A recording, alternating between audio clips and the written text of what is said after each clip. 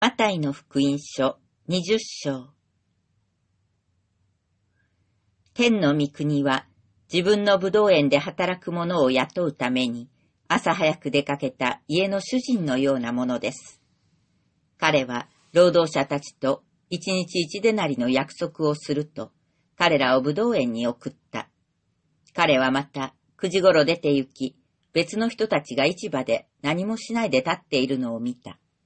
そこでその人たちに言った。あなた方も武道園に行きなさい。相当の賃金を払うから。彼らは出かけて行った。主人はまた12時頃と3時頃にも出て行って同じようにした。また5時頃出て行き、別の人たちが立っているのを見つけた。そこで彼らに言った。なぜ一日中何もしないでここに立っているのですか？彼らは言った。誰も雇ってくれないからです。主人は言った。あなた方も武道園に行きなさい。夕方になったので、武道園の主人は監督に言った。労働者たちを呼んで、最後に来た者たちから始めて、最初に来た者たちにまで賃金を払ってやりなさい。そこで、5時頃に雇われた者たちが来て、それぞれ一でなりずつ受け取った。最初の者たちが来て、もっと多くもらえるだろうと思ったが、彼らが受け取ったのも一でなりずつであった。彼らはそれを受け取ると主人に不満を漏らした。最後に来たこの者たちが働いたのは一時間だけです。それなのにあなたは一日のロークと焼けるような暑さを辛抱した私たちと同じように扱いました。しかし主人はその一人に答えた。友よ、私はあなたに不当なことはしていません。あなたは私と一でなりで同意したではありませんか。あなたの分を取って帰りなさい。私はこの最後の人にも、あなたと同じだけ与えたいのです。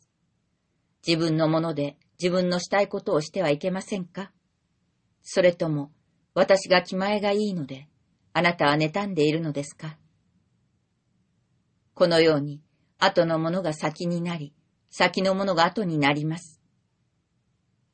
さて、イエスはエルサレムに登る途中、十二弟子だけを呼んで、みちみち彼らに話された。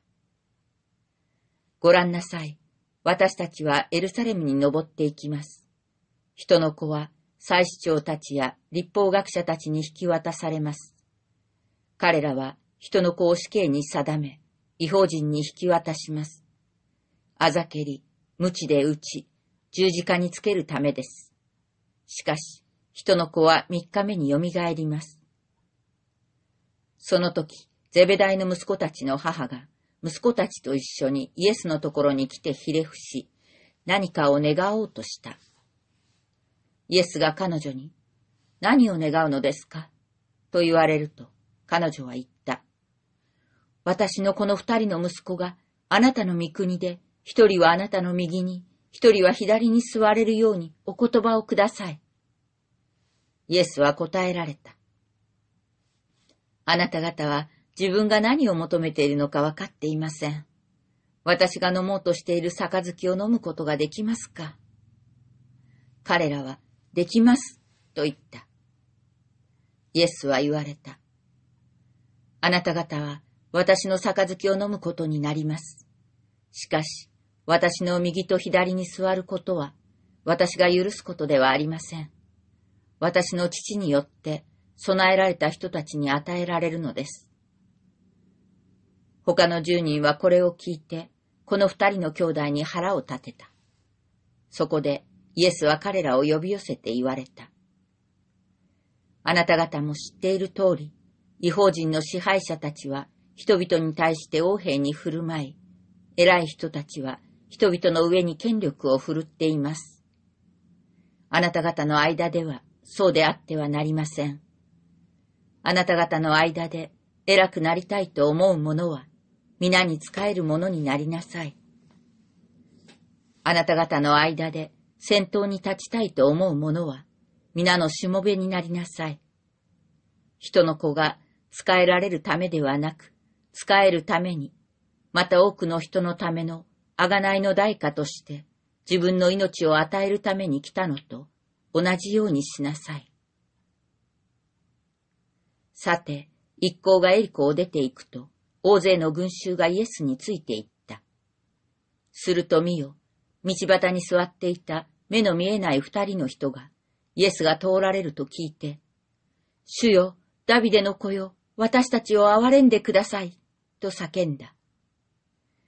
群衆は彼らを黙らせようとたしなめたが、彼らはますます、主よ、ダビデの子よ、私たちを憐れんでください、と叫んだ。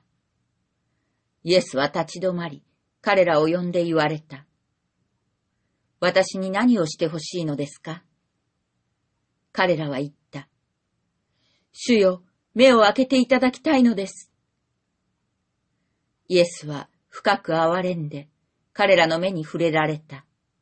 すると、すぐに彼らは見えるようになり、イエスについていった。